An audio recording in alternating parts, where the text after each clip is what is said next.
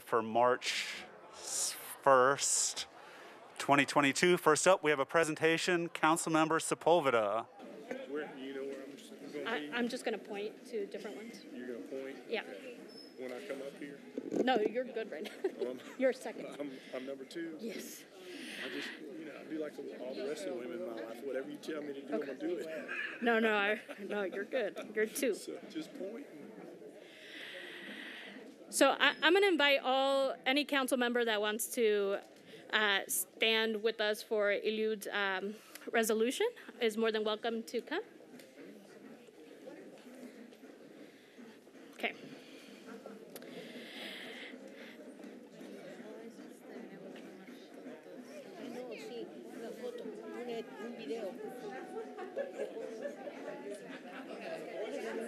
All right.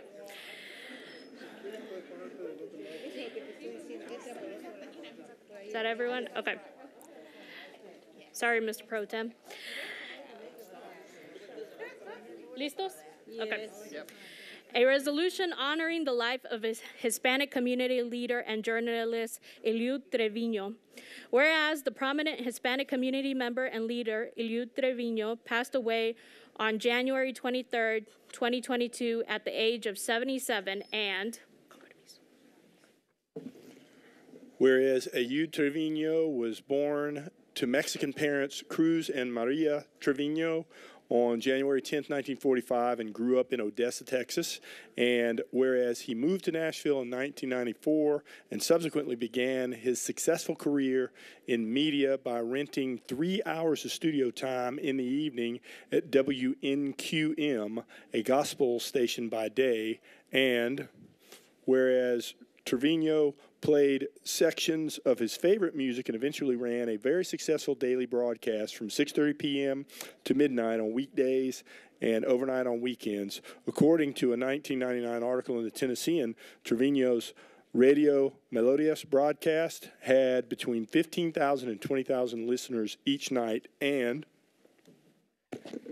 Whereas in 1999, Trevino founded El Crucero de Tennessee, a Spanish language weekly newspaper later incorporated as El Crucero Entertainment LLC, and became its president and publisher. And whereas El Crucero was one of the first sources of information for the Spanish speaking community in Tennessee. And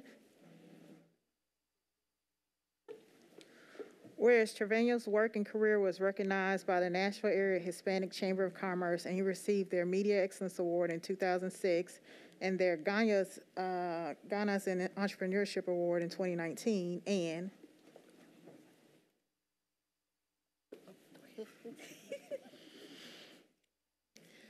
Whereas Trevino was an active member of the community and loved to support his neighborhood church, St. Edward's in South Nashville. He served on the U.S. Commission on Civil Rights Tennessee Advisory Committee, the Mental Health Association Board, Metro Nashville's Emergency Communications District Board, and was appointed to the Mayor's Procurement Standards Board in 2000 during Mayor Bill Purcell's administration and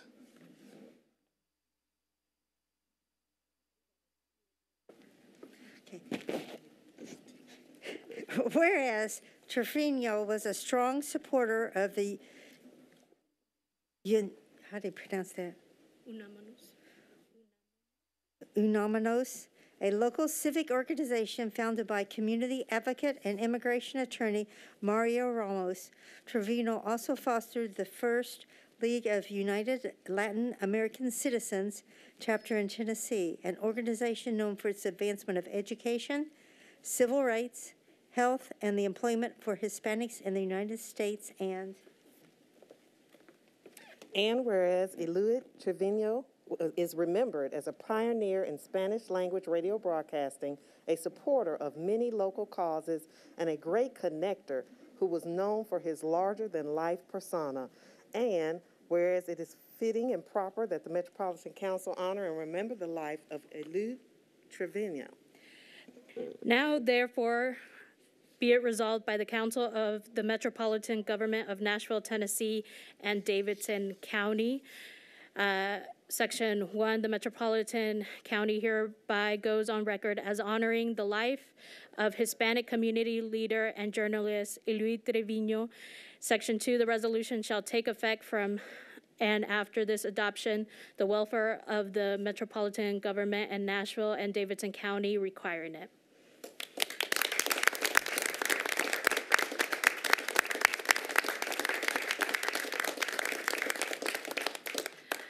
Um, and as you can see behind me, there are several community members in the Hispanic community that had joined us today. And we also have his wife here, and I'm going to let her say a few words. Thank you for giving opportunity to me because everybody know who was Eliud Trevino. He has a good, happy face for everybody. No difference there was different countries or any place. Always for them, very happy. They are likes everybody.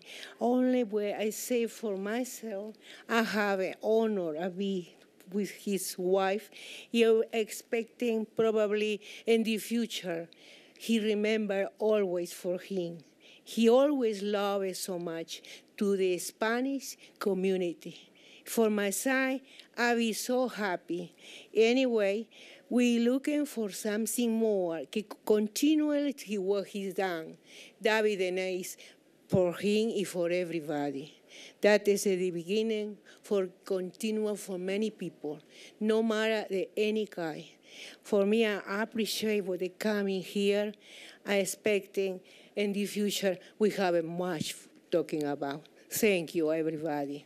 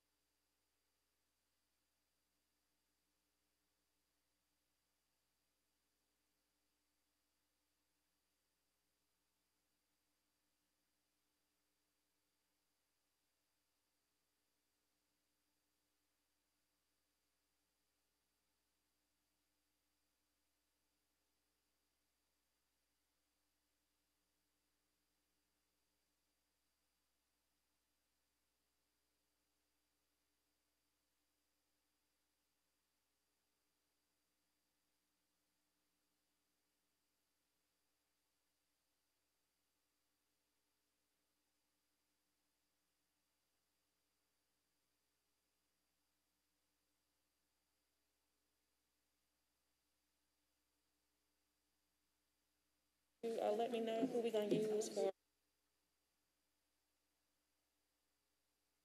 Councilmember, we have a presentation from Councilmember Hurt.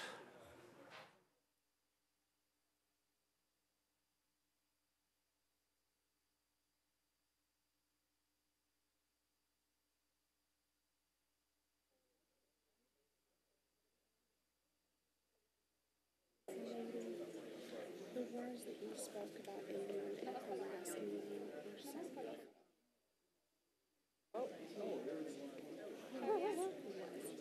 And just, I, it was so wonderful to hear, you know, that it, it went beyond the Hispanic.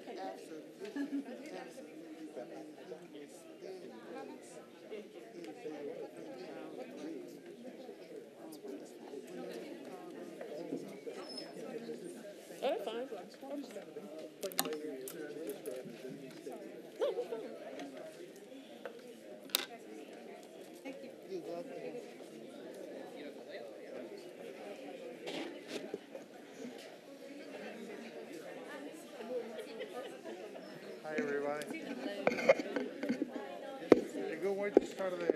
services. Excellent, huh? excellent start.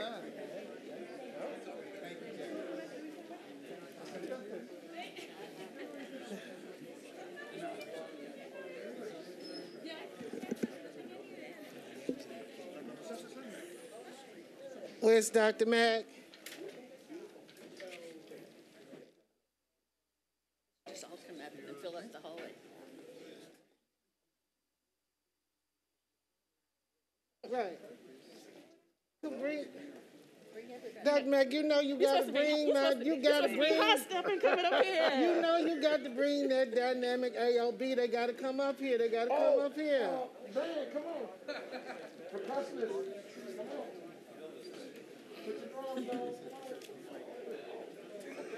I mean, I'm sure he's great, but I want to see everybody. Okay. Come on, girls, come on. Come on, girls, come too.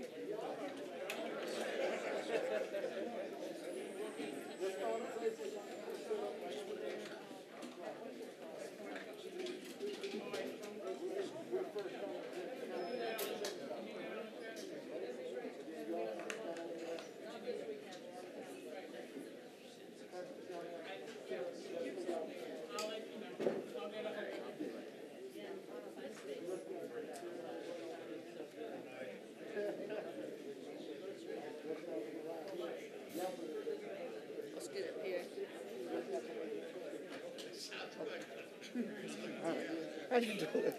so good to see you. All right. So you want them to play A little bit of something, something. right after after we finish? After you say your little words. Okay.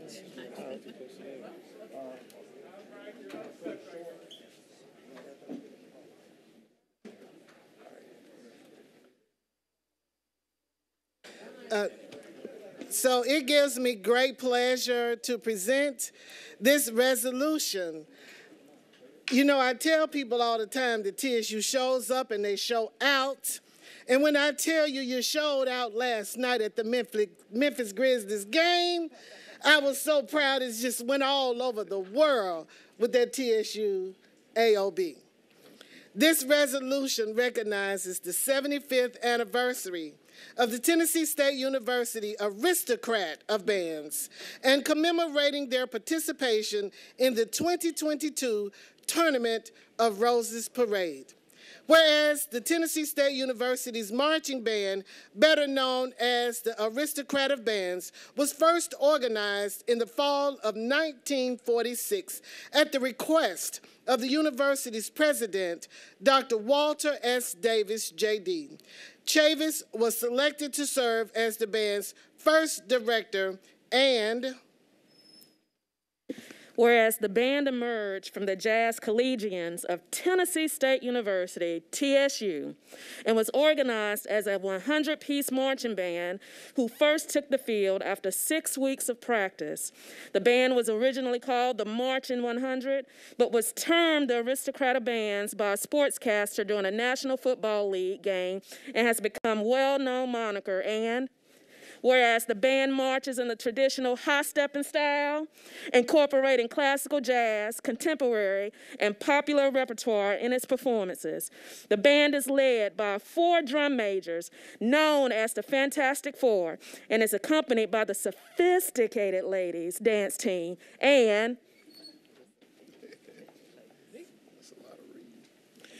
Whereas a band of firsts, the aristocrat of bands, are known for achieving many historic milestones.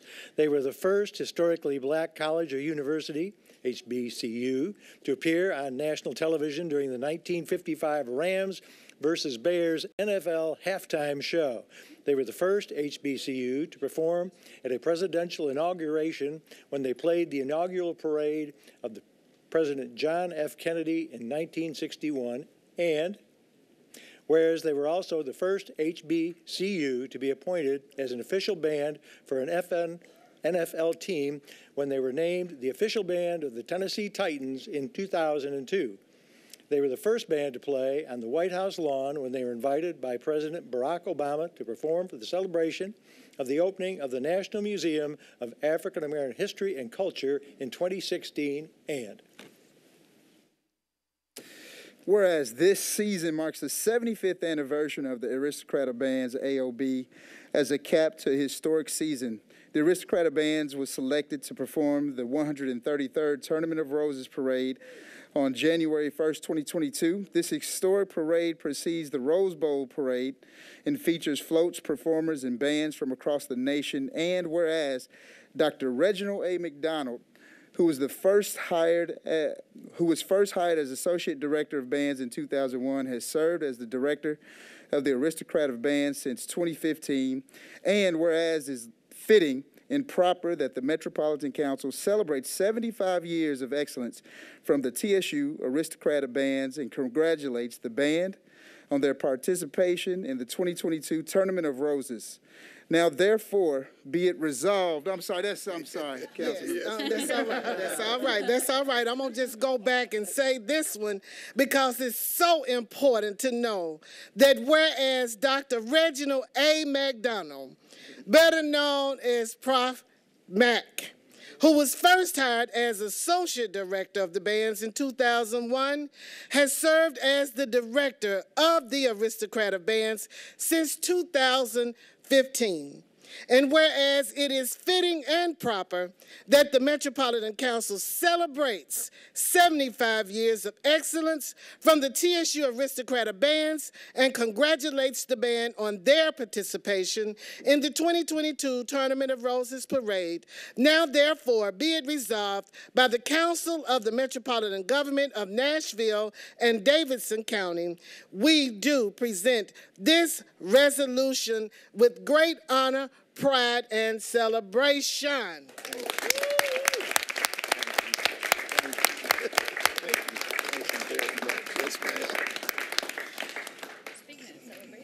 Thank you very much. Um, words kind of escape me right now, but I, I just want to make sure that I accept this prestigious honor on behalf of our university, Tennessee State University, our president, Dr. Glover, all of my students.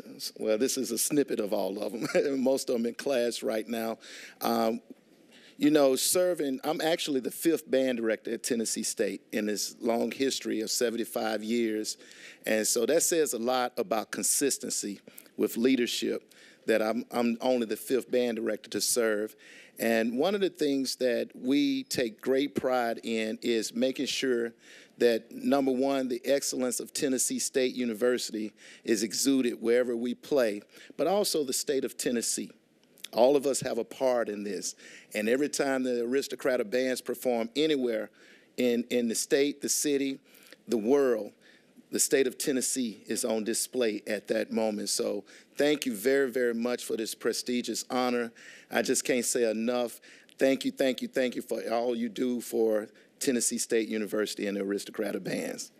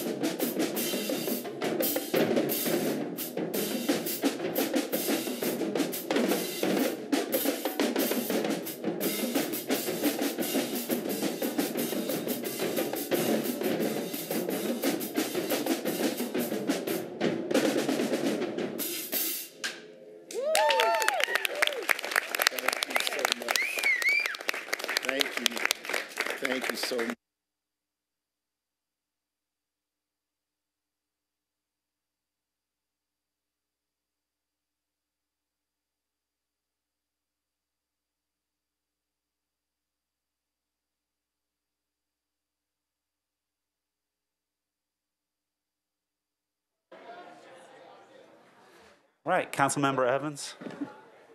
Thank you. Uh, I would like to invite them to come back every council meeting and play the drums. That was amazing.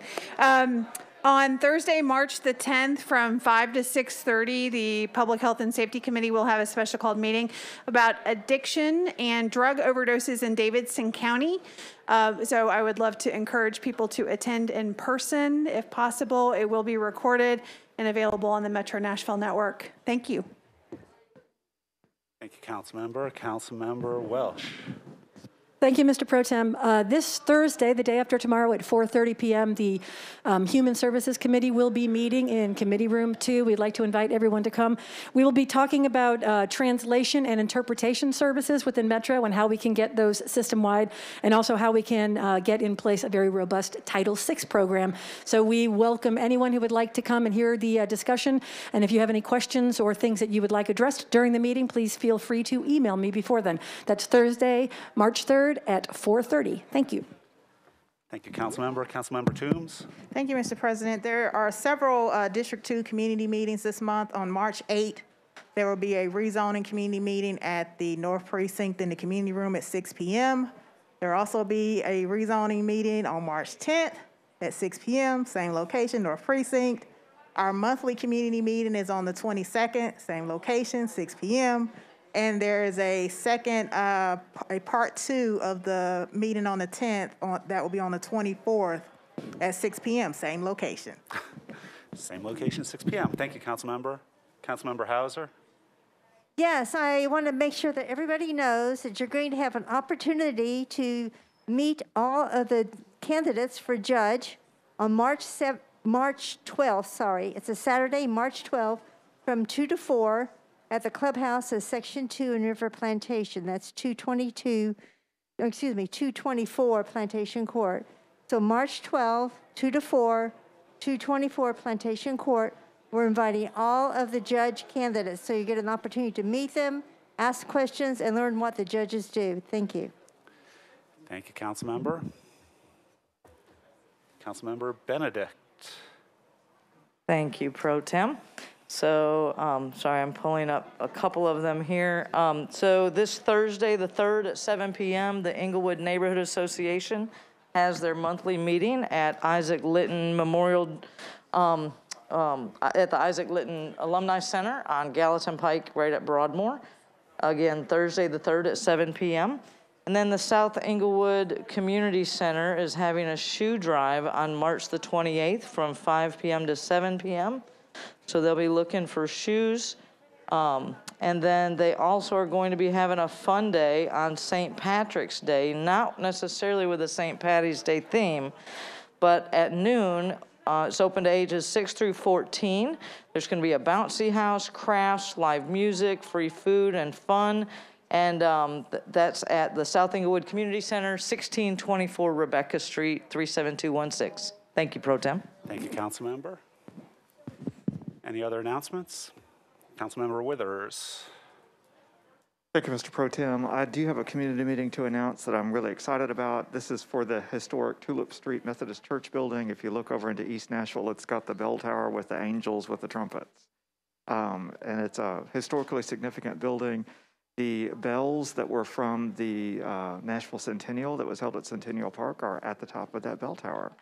Um, so I'm working with um, a, a buyer who is interested in restoring that building, and we have a neighborhood landmark application. Uh, I'm also working with the Metro Historic Zoning Commission. We're doing a historic interiors overlay that will help preserve some of the interior features of that sanctuary. And we are having a community meeting about that on Thursday, March the 9th, or I'm sorry, on Wednesday, March the 9th, at, uh, at Tulip Street, there at 518 Russell Street, and hope that folks will come out and listen to that presentation and give us our feedback before it comes before planning. So thank you so much. Yeah. Thank you, Council Member. Any other announcements? Council Member Gamble. Thank you.